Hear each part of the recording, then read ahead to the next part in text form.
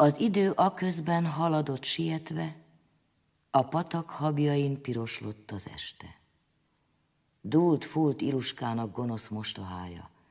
Hol marad, hol lehet oly soká leánya? A rossz vén mostoha ekép gondolkodott, követték ezek a szók a gondolatot. S nem mondhatni, hogy jó kedve lejtette ki, megnézem, mit csinál, ha henyél, jaj neki. Jaj neked, Iluska, szegény árva kisjány. Hátad mögött van már a dühös boszorkány, nagy szája megnyílik, tüdeje kitágul, s így módon riaszt föl szerelem álmából.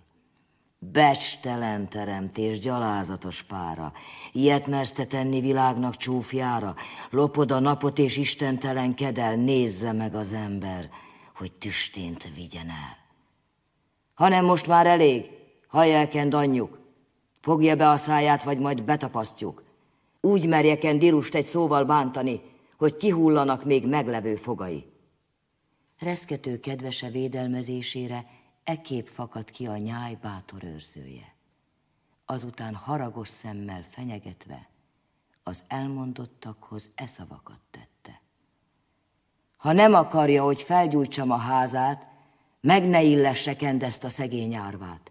Úgy is töri magát, dolgozik eleget, és mégsem kap száraz kenyérni legyebet.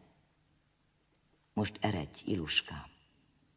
Megvan még a nyelved, hogy elpanaszolt, ha rosszul bánik veled. S Kend ne akadjon fönn azon, mit más csinál, hisz Kend sem volt jobb a Deák névásznánál.